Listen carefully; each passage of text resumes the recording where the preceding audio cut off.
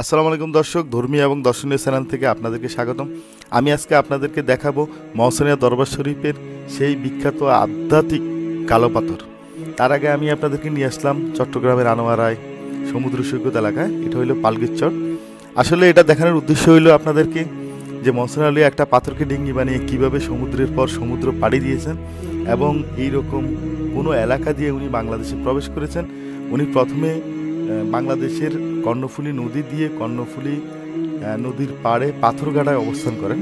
আসলে পাথরঘাটা নামটা নাকি ওনার থেকেই সৃষ্টি হয়।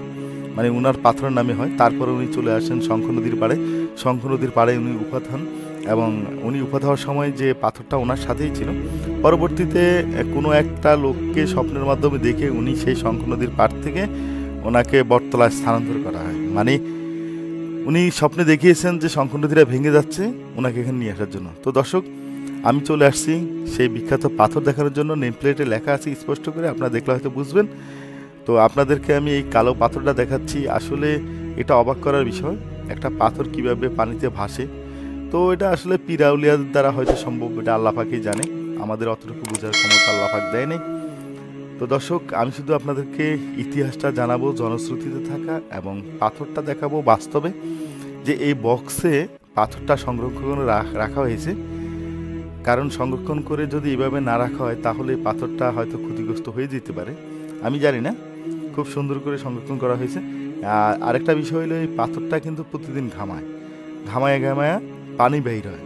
সেই পানিটা কিন্তু আবার এই মাজার কর্তৃপক্ষ সংরক্ষণ করে বিভিন্ন মানুষ সেই পানি নিয়ে যায়, নিয়ুত করে খায়। যার যার মনের ইচ্ছা, মনের বাসনা, এটা নিয়ে আমার কোনো মত পার্থক্য নাই দর্শক। এটা যার যার ব্যক্তিগত ব্যাপার। অনেকে এসে এই পাথরের বক্সের উপরে চুমু খায়। তো আমার প্রশ্ন হলো, একটা কালো পাথর কীভাবে পানি দিয়ে ভেসে আসলো? আসলে এটা কীভাবে সংরক্ষণ থাকল? উনি কীভাবে এটাকে বহন করল? তারপরে এটা এতদিন পর্যন্ত, পাঁচশো, ছয়শো বছর হয়ে গেল, এখনও অক্ষত অবস্থা আছে। এটা আমার কাছে সত্যি অবাক লাগে। যাই হোক দর্শক, আপনারা যারা কাছে এসে বা এখানে এসে দেখতে পারেন নাই মৌসলিয়া দরবার শরীফ, আমার ভিডিওর মাধ্যমে দেখে ফেলুন। আসলে দেখার মধ্যেও আসলে ভালো লাগা থাকে।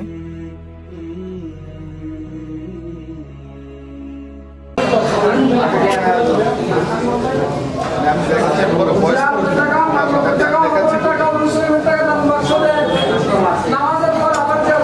পানি ঘামাচ্ছে পানি ঘামাচ্ছে। এই। পানিটা যেদিকে ঘামাইয়া এই যে বোতল দিয়ে দেখতে বাবু এটা এই যে এখান দিয়ে সংগ্রহ করা এই যে সংগ্রহ পানি, এই যে। পানিটা ঘামায়। ঘামানোর পরে পানি এখানে নিচে জমে, তারপরে ওটা সংগ্রহ করে এটা মানুষের জন্য, মানুষের, মানুষ হয়তো নিয়োগ করে খায়। হ্যাঁ সেই কারণে এই পানিটা বোতল দাম করে, বোতল করে এখানে হাতিয়ে নিয়ে এটা ওনারা এই যে এখান থেকে আপনারা দেখুন। এই এখানে সংগ্রহ করে রাখা হয়েছে।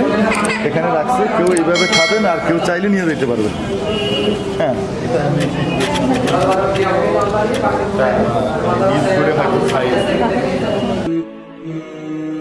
দর্শক, আপনাদের কাছে নিশ্চয়ই ভিডিওটা অনেক ভালো লাগছে। আসলে আধ্যাত্মিক ভিডিও দেখতে সবার কাছে ভালো লাগে।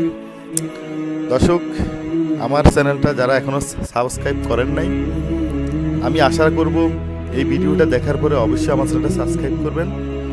আর সাবস্ক্রাইব করার পরে পাশে থাকা বেল আইকনে নোটিফিকেশনের জন্য ক্লিক করে দিবেন। আর আমার একটা ফেসবুক পেজ আছে ধর্মীয় এবং দর্শনীয় স্থান, সেখানে লাইক দিয়ে রাখবেন। দর্শক ভালো থাকবেন, সুস্থ থাকবেন। আমার চ্যানেলে নতুন নতুন আরও আধ্যাত্মিক ঘটনাবহুল ভিডিও আসতেছে। আমার জন্য দোয়া করবেন। আল্লাহ হাফেজ।